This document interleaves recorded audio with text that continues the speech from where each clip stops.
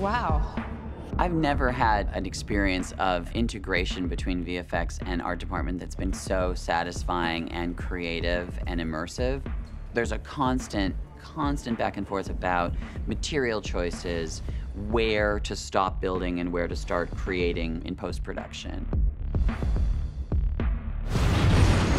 We are shooting in real places and changing every storefront, every sign, every billboard, every traffic light every vehicle.